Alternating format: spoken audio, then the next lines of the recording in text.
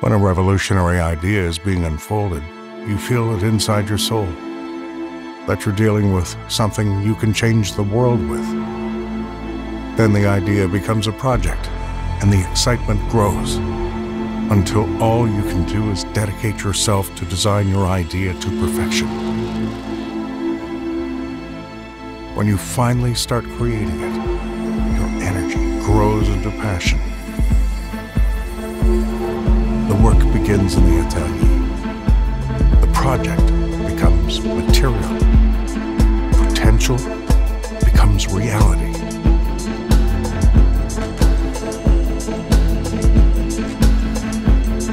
Pershing T Zero Project. Unprecedented.